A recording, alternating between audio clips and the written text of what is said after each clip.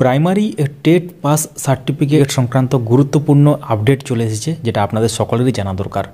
তো শেষ পর্যন্ত ভিডিওটি দেখতে থাকুন। যারা এখনও পর্যন্ত আমাদের চ্যানেলটি সাবস্ক্রাইব করেনি সাবস্ক্রাইব করে রাখুন। পাশের বেল আইকন প্রেস করে অল করে দিন, তাহলে আপডেটগুলো মিস করবেন না। ভিডিওটি লাইক করুন, সবার সাথে শেয়ার করুন। আপনারা কোন ডিস্ট্রিক্ট থেকে দেখছেন সেটা কিন্তু মেনশন করতে ভুলবেন না।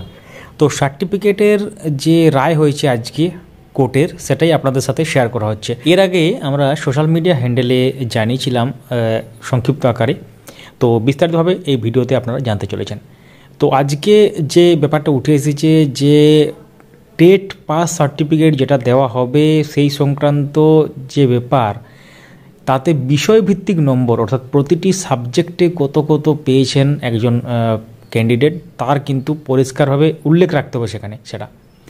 অর্থাৎ পাঁচটা সাবজেক্ট আপনারা জানেন প্রাইমারিতে আছে, তো পাঁচটা সাবজেক্টে যে নম্বর পেয়েছেন অবটেন্ট যে, অর্থাৎ মার্কস অবটেন্ট বলতে পারেন তো সেই নম্বরগুলো কিন্তু ওখানে লিখিতভাবে থাকতে হবে।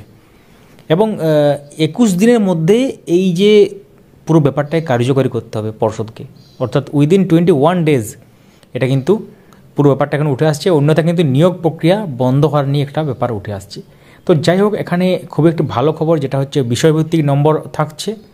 যেটা উঠে আসছে খবর এবং তার সাথে একুশ দিনের মধ্যে পুরো ব্যাপারটা কার্যকরী করতে হবে। এবার আপনাদের মনে প্রশ্ন আসতে পারে, তাহলে টেট পাস সার্টিফিকেটটা কীভাবে দেওয়া হবে?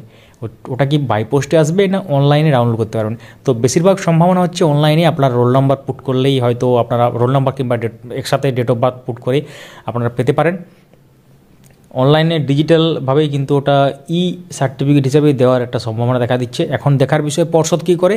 তো আপনারা কি মনে করেন? আপনাদের কোনটা ভালো হয়? বাই পোস্টে এলে ভালো হয় না ই মানে ই অ্যাডমিট যেমন আপনারা ডাউনলোড করেন এবং ই সার্টিফিকেট যদি আসে, তাতে কোনো অসুবিধা নেই আপনাদের। যেমন সেন্ট্রাল টেটের ক্ষেত্রে করা হয় মানে অনলাইনে আপনারা ডাউনলোড করতে পারবেন। তো সেক্ষেত্রে এটাও কিন্তু হওয়ার সম্ভাবনা আছে। তো বিভিন্ন রকম খবর আসছে, বিভিন্ন সময় আমরা দিয়ে থাকছি। আমাদের সঙ্গে যুক্ত থাকুন তো, সেটা কোন খবর কখন মিস হয়ে যাবে আপনারা বুঝতেই পারবেন না। তো ভিডিওটি লাইক করুন, সবার সাথে শেয়ার করুন এবং আপনাদের মূল্যবান মতামত কিন্তু অবশ্যই এখানে জানাতে ভুলবেন না কমেন্টে কিছু প্রশ্ন থাকলে সেটাও লিখতে পারেন। Thank you so much for watching